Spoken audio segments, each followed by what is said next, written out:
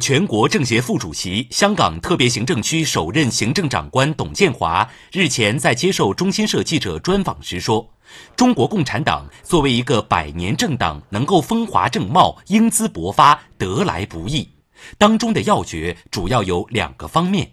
他表示，一方面，中共是一个不断学习、不断自我完善、不断向前迈进的生机勃勃的党。从一九二一年建党开始，共产党在领导革命以至国家治理的道路上，即便出现过许多曲折，但每次都能依靠自身的机制拨乱反正，再创新路。历史实践证明，中共具有超凡的自我纠错能力和制度创新能力。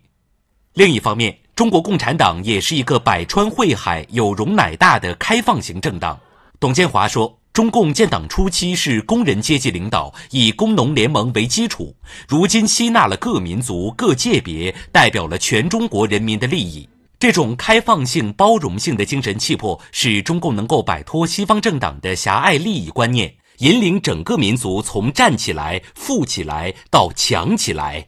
董建华指出，中共是世界上持续执政时间最长的政党之一，没有全盘照搬照抄别人，从不盲目模仿，而是结合中国实际情况不断探索，走出一条符合中国国情的社会主义道路。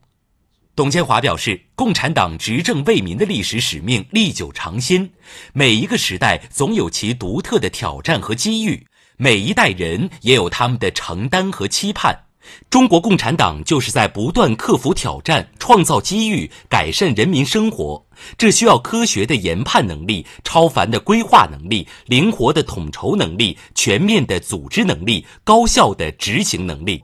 我们国家五年规划的成功，以及抗击新冠疫情的成果，体现了执政党的总体施政能力，证明了中国制度的巨大优势。共产党领导下的执政为民，不是西方选举的竞选口号，而是全心全意、全力奋斗的行动纲领。我们现在今天做中国人了，啊，要开始啊，骄傲，真是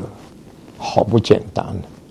国家的这个成就了，真了不起，一件大事情出来。你在顶层一定要有一个最好的领导，啊，全国上下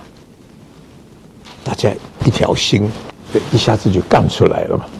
就这真的是干出来了。其他的多少国家做不出来，我们做出来了，